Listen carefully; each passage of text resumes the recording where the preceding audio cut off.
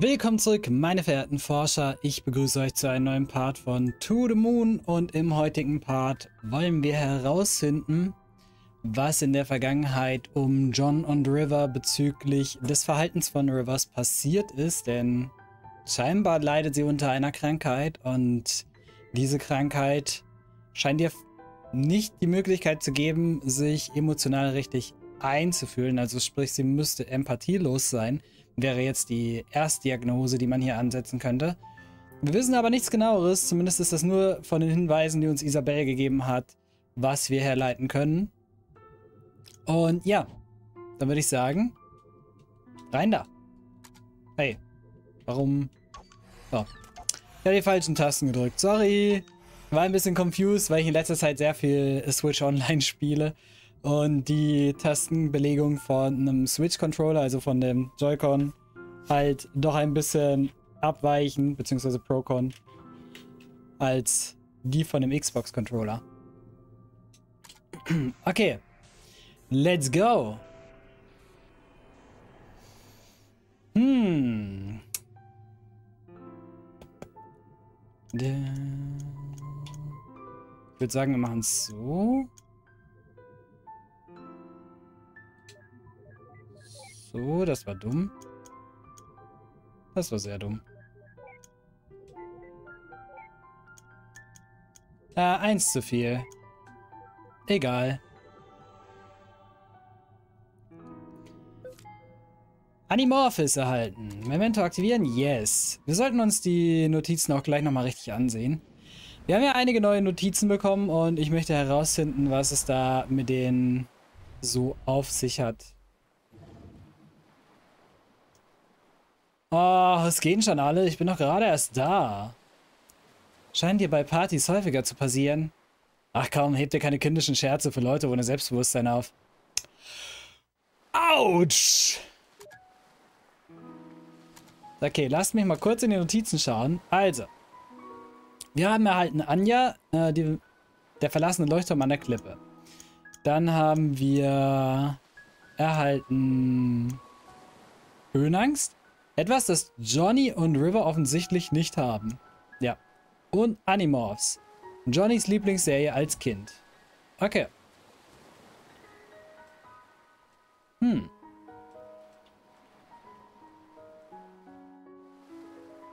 Ein altes Animorphs-Buch. Ein Glas eingelegt Oliven. Ich sehe Le Fromage, aber wo ist die Maus? Ist das eine Ratatouille-Referenz? Du redest ja immer viel Blödsinn, aber das ist bisher das Highlight des Abends. Willst du nicht eher sagen, dass ich nur Käse rede?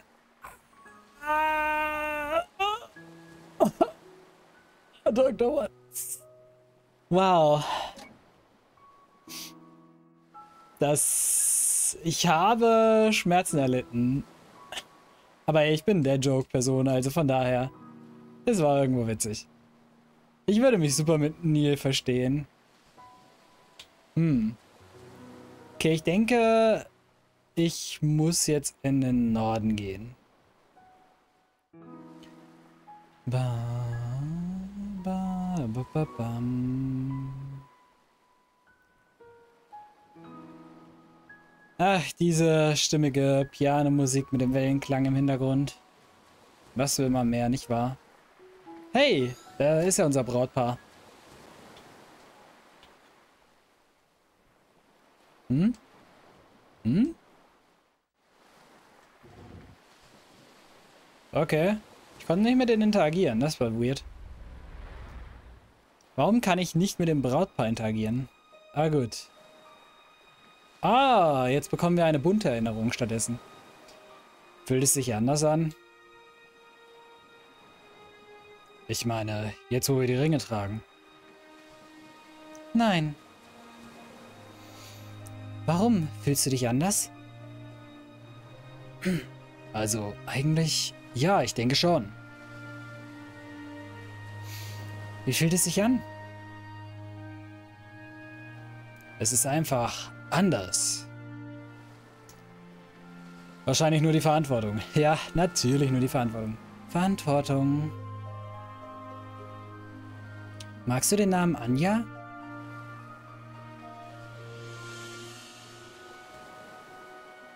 Möchtest du sie Anja nennen?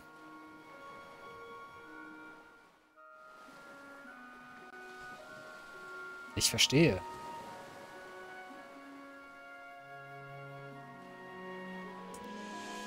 Ja, Anja ist ein schöner Name für sie. Hey, komm mal her. Oh, ich glaube, jetzt sehen wir eine Szene, die es als Steam Achievement Karte gibt.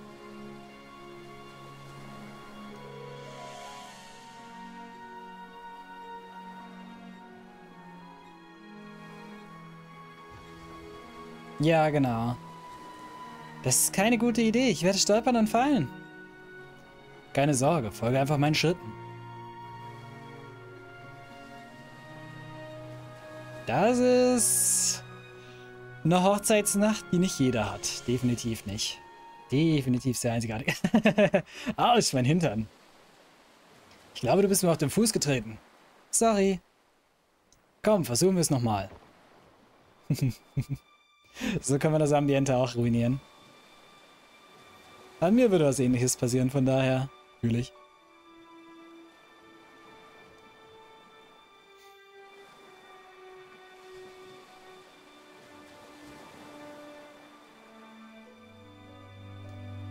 Versprichst du sie zu lieben und zu ehren, in guten wie in schlechten Tagen, bis dass der Tod euch scheidet? Das tue ich. Möchtest du diesen Mann, der nun vor dir steht, zu deinem Ehemann nehmen? Versprichst du ihn zu lieben und zu ehren in guten wie in schlechten Tagen, bis dass der Tod euch scheidet? Ja, Kraft meines Amtes erkläre ich euch hiermit zu Mann und Frau. Meine Damen und Herren, vor Ihnen stehen Mr. und Mrs. Wiles. Okay.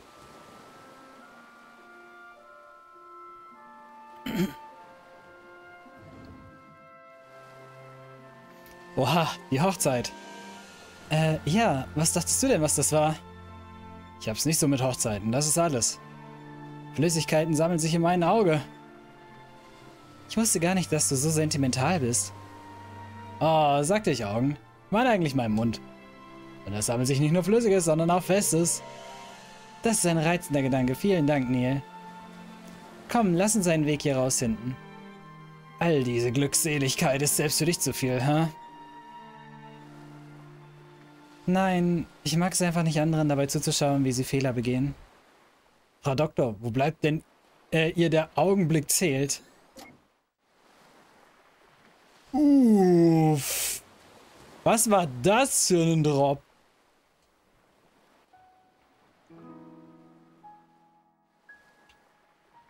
Also, dass Dr. Rosalene das gesagt hat, das war, das war heftig. Jetzt kann man natürlich erstmal fragen, was genau der Fehler hier sein sollte. Die Hochzeit der Bezug dessen, dass sie diese Erinnerung miteinander geschaffen haben, man weiß es nicht. Oh, ich sollte mal schauen, wie es deiner Tante geht. Alles klar, Mom. Sag ihr, dass ich mich freue, dass sie gekommen ist. Mache ich. Bin so stolz auf dich, Joey. Joey? Das habe ich mich auch gerade gefragt. Ach, so hieß mein Großvater. Er ist gestorben, bevor ich geboren wurde. Mom nennt mich manchmal so als Spitzname. Wie kommt es, dass du mir nie davon erzählt hast? Weil ich es besser finde, wenn du mich John nennst. Oha, nicht noch eine von diesen Großelternkindheiten. Wieso, was hast du denn äh, dagegen? Ich meine, über deinen Großvater erzählst du mir eine ganze Menge. Was? Stimmt doch gar nicht. Ganz wie du meinst. Notiz, Joey. Ja, die Joey-Notiz, die schauen wir uns auch mal ganz kurz an. Johnnys Spitzname nach seinem Großvater.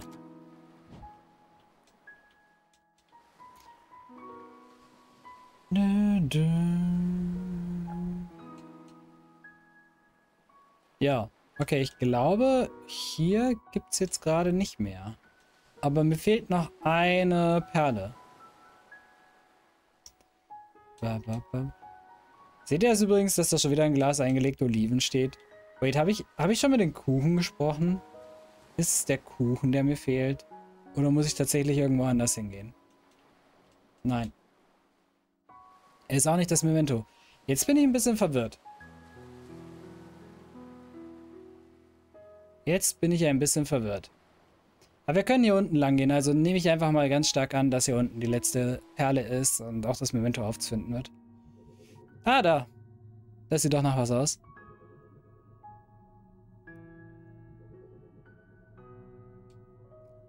Da kann man nichts mehr machen, River. Ich bin sicher, es war keine Absicht. Komm schon, wir kommen zu spät.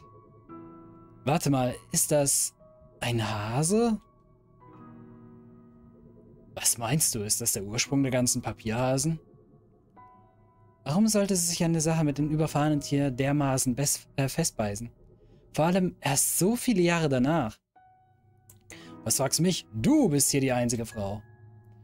Davon werde ich erst überzeugt sein, wenn du dich traust, einen Bungee-Sprung ohne Seil zu machen. Okay. Bing! Notiz toter Hase. An Johnnys und Rivers Hochzeitstag wurde ein Hase überfahren. Hm. Ich meine, als jemand, der sehr viele Tiere schon in seinem Leben, also Haustiere hauptsächlich, hat, äh, ich sag mal, davon scheiden sehen, kann ich sagen, dass eine emotionale Bindung zu einem Tier halt eine ganz andere ist als zu einem Mensch und deshalb es super, super, super heftig sein kann. Aber sie kannte diesen Hasen nicht. Laut der Aussage von John.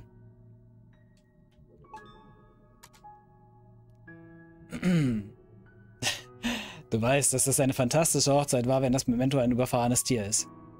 Ey. Vielleicht sah sie das als eine Metapher für die schreckliche Ehe. Und dann Jahre später fing sie an Hasen zu falten, weil sie sich daran erinnerte, wie sehr das hier zum Himmel stank. Oder was weiß ich, irgendwas ähnlich wichtig tourisches. Coole Story, Neil. Wupp.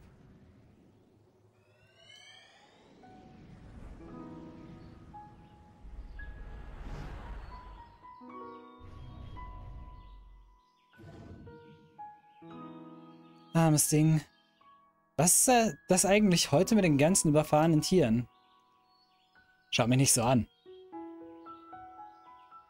Es riecht nach Bauernhof hier. Und nach überfahrenen Tieren. Lass uns, zu den Lass uns den Geruchssimulator deaktivieren oder schleunigst von hier verschwinden.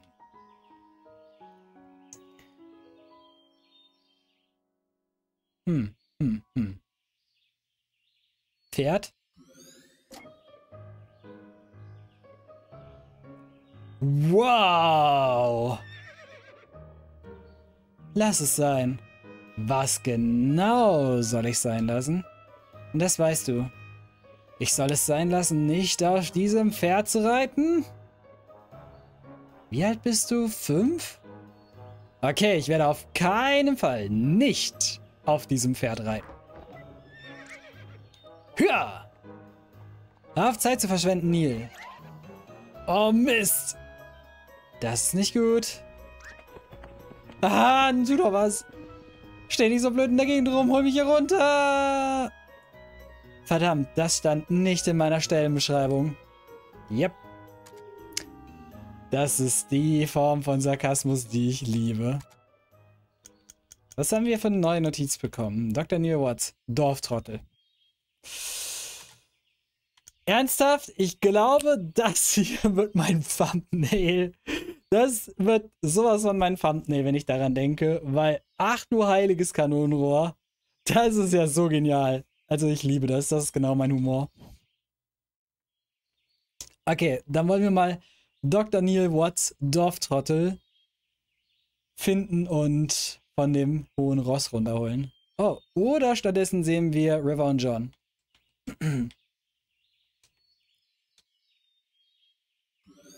Bling. Ob das wirklich eine gute Idee ist?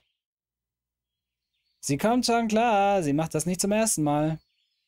Aber sie ist bisher noch nie alleine geritten. Ich kann das, ich bin kein Kind. Tju, oh, oh. River.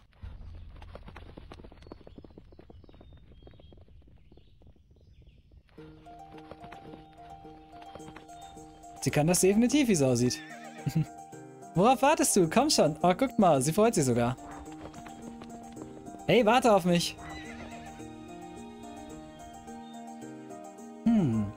Ich frage mich, ob Nils schon von dem Pferd runtergekommen ist. Eva! Ja, wir haben unsere Frage beantwortet bekommen. Das hier liegt 20% über meiner Belastungsgrenze. Was für ein Volltrottel. Whip, Zeit das Pferd selber zu nehmen. Ach, zum Maiskolben damit. Yay! Feuer frei! Oh, das ist cute.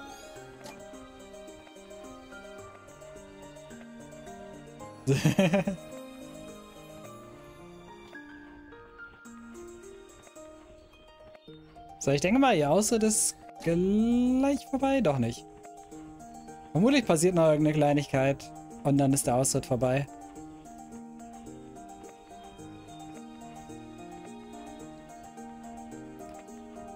Ich bin selbst in meinem Leben nur als ganz kleiner Knirps mal auf dem Pferd gewesen. Keine Ahnung, da war ich sechs oder sieben. Daran kann ich mich noch erinnern ein bisschen, aber das war auch wirklich alles, was ich zum Thema Reiten weiß, beziehungsweise was ich damit verbinde. So, ich habe alle Perlen. Dr. Watts! Du kannst gerne piu, runterfallen. Sehr schön. Ich danke dir. Art. Wo bist du gelandet?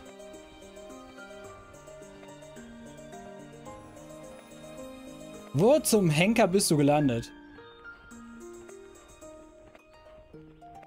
Ich finde ihn nicht. Na gut. Wir haben Dr. Watts verloren. Schade aber auch. Gleichzeitig haben wir auch River und John aus den Augen verloren. Das ist tatsächlich ein bisschen schlimmer.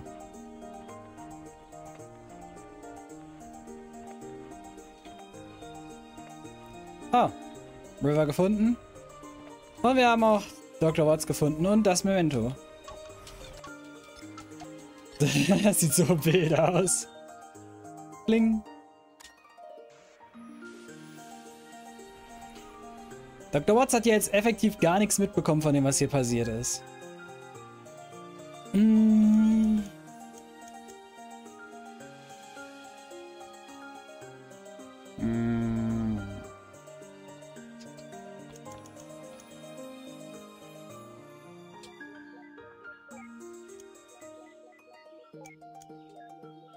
Ja, ne? Ich bin derzeit ziemlich gut in diesen Rätsel. Dafür, dass ich zu Beginn der Folge, beziehungsweise zu Beginn des vorherigen Parts ziemlich reingefeuert habe, habe ich mich ja ganz schön gemausert, würde ich sagen, ne? oh, jetzt erfahren wir wahrscheinlich, was die Krankheit ist. Da bin ich mal gespannt. Die Diagnose steht fest. Ja, wir sind uns einig, was die Ergebnisse angeht.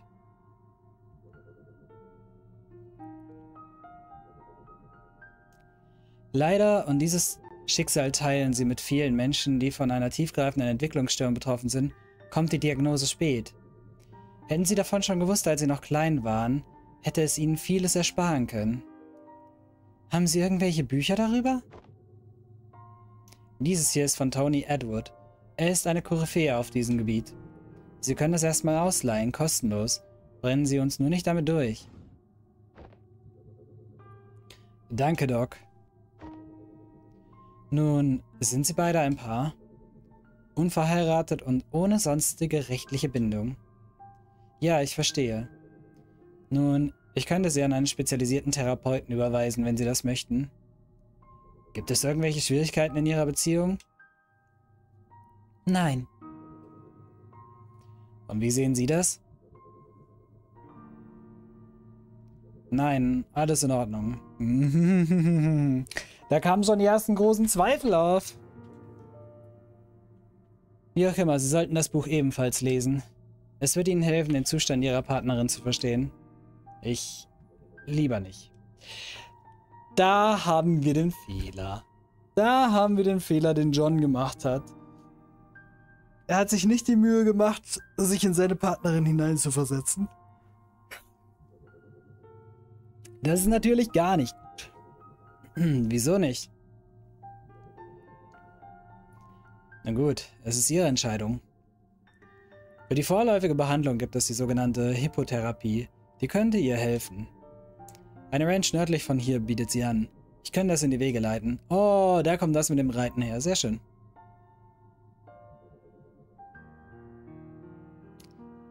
Ich hab's dir doch gesagt. Ja, schön. Dann gibt uns doch aber wenigstens jetzt endlich eine Betitelung. Tony Edward.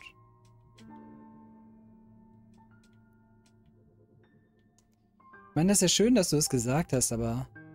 Eine einfache gelbbraune Handtasche.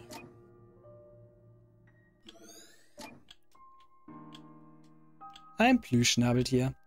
Ich kann es nicht fassen, dass diese Scheußlichkeit schon so früh in den Erinnerungen auftaucht. Da hat jemand sein Plüschtier wohl sehr sorgsam behandelt. Und hatte, was Tiere angeht, einen ziemlich miserablen Geschmack. Entschuldigen Sie, könnten Sie bitte die Uhr leise stellen? Sie kann das Ticken nicht gut ertragen. Oh. Ist nicht so schlimm, ich halte schon aus. Kein Problem, das mache ich gerne. Falls es noch etwas gibt, das Sie beunruhigt, sagen Sie mir einfach Bescheid. Hui, nice jump. Vielen Dank. Hm, das erklärt dann wohl die Uhren im Haus. Yep, das erklärt in der Tat die Uhren im Haus. Falls ihr euch nicht mehr erinnert, die Uhr in Johnnys Haus ticken nicht. Etwas, das River nicht leiden kann. Jetzt haben wir da die Verknüpfung. Lasst ihr eure Taschen gerne am Tresen stehen.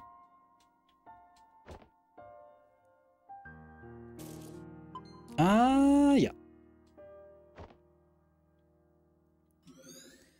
Nicht mehr lange. Sie werden dich gleich aufrufen. Lass uns noch die Notiz von Edward mal kurz ansehen. Der Autor einer Buchreihe über Rivers Störung. Hm. Wird natürlich auch nicht genannt, welches es ist. Sie wollen wirklich eine riesige Geheimniskrämerei daraus machen. Vento vorbereiten, let's go. Die Uhr. The clock stops ticking forever at all. Hm, hm, hm,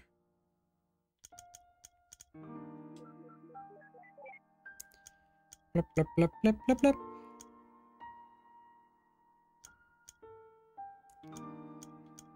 Uh, so. So. Und so. Easy. Ich wette, hätte ich das vorher gewusst, wie das funktioniert, im ersten Part, und hätte auch schon, beziehungsweise im zweiten Part war es, glaube ich, ja, im zweiten Part, und hätte auch schon ein bisschen länger darüber nachgedacht, über die einzelnen Rätsel, hätte ich die alle flawless machen können. Aber gut. Ich bin trotzdem fein damit, hin und wieder mal einen kleinen Glücksmoment zu erleben. So, wie es aussieht, landen wir in einem Saal, Kino, Kino vermutlich. Wo genau in der Timeline sind wir gerade? Psst, schau. Ich weiß, ich kann auch nicht glauben, dass er für diesen Film bezahlt hat. Nein, du Idiot. Schau, wir sind gesprungen.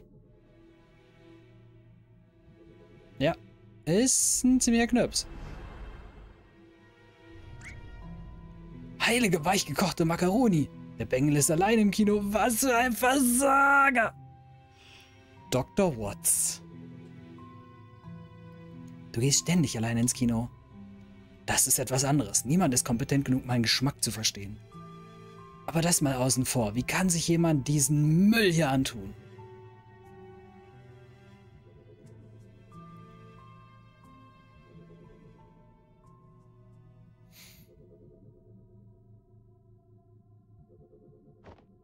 Okay. Scheinbar will er sich diesen Müll gar nicht antun.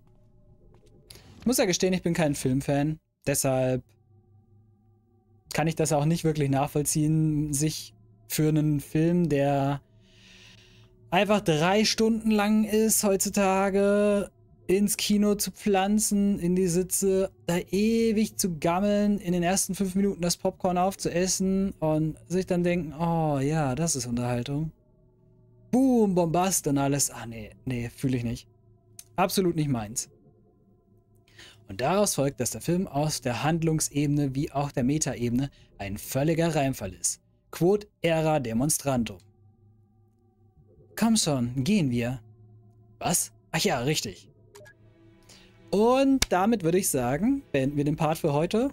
Was es mit dem Kinobesuch auf sich hat, erfahren wir dann beim nächsten Mal. Und ich bin sehr gespannt darauf, weil jetzt sind wir in der Kindheit angekommen. Ich weiß gar nicht, woher der große Sprung kommt und wie das jetzt gerade zusammenhängt. Wir werden es herausfinden beim nächsten Mal und bis dahin macht's gut.